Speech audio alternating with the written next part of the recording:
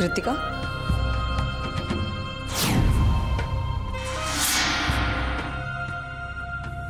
तू?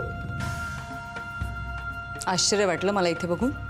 Obviously मला वाटलं नव्हतं ना म्हणजे you were not expected here ना? तुझ्याच भाषेत उत्तर देऊ? I am always beyond the expectations मी कशाला तुझी परवानगी मागतेय?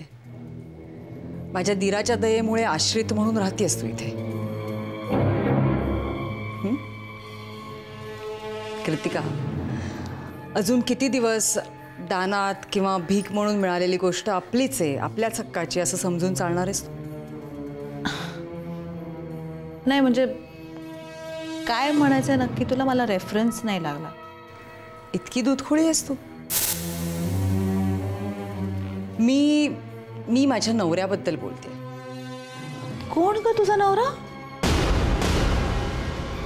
आ अभय अधिकारी ना? म्हणजे ज्याला मी डॉक म्हणते तोच ना? हा तोच डॉक ना ज्याचं मूल माझ्या पोटात वाढतंय? हा तो डॉक म्हणजे तुझा नवरा. राईट ते मूल यांचं नाहीये. हो कृतिका इतके दिवस तू अक्षरशः डोकं आपटतेस माझ्याबद्दलचं यांचं प्रेम तिळमात्र सुद्धा कमी झालं नाही तरी सुद्धा मग तुला असं वाटतं की हा सगळा खोटारडेपणा करून त्यांच्याबद्दलचा माझा विश्वास तू कमी करू शकशील? सरिता तू डॉकला घराबाहेर काढलंस ना? का ग? त्यांच्यावर तुझं प्रेम आहे म्हणून का विश्वासापोटी? का? का काढलं घराबाहेर? मी घरातून बाहेर नाही काढलं. ते स्वतःच गेलेत. कसं आहे ना कृतिका? जोपर्यंत आमच्या अंगाला लागलेला चिखल पुसला जात नाही ना तोपर्यंत समाधान नाही मिळत ग आमच्या मनाला.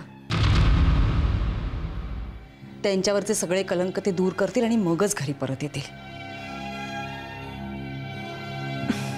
सरिता एवढा विश्वास आंधळा विश्वास कोणावरही टाकू नये. नाही म्हणजे काय आहे ना विश्वासघात झाला तर खूप त्रास होतो.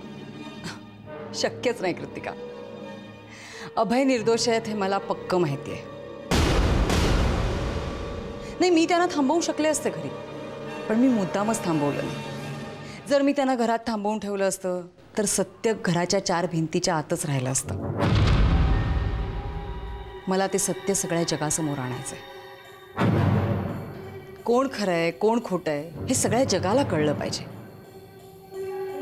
ज्या अब्रूची भीती दाखवून तू हा एवढा सगळा मोठा फार्स रचलायस ना, ती जाताना कशी दिसते हे तुला दाखवून द्यायचंय मला. म्हणून केलंय मी हे सगळं. आणखी एक महत्वाचं कृतिका. आजपर्यंतच्या तुझ्या आणि माझ्या संघर्षात कायम मीच जिंकले. आणि यावेळी सुद्धा मीच जिंकणार. कसं आहे ना, कृतिका? तू सरिताला हरवायचा प्रयत्न केलास तर तू जिंकशील कदाचित. पण तुझा प्रॉब्लेम असा आहे की तू अभयच्या बायकोला हरवायला जातेस. मग तू जिंकणं अशक्य आहे.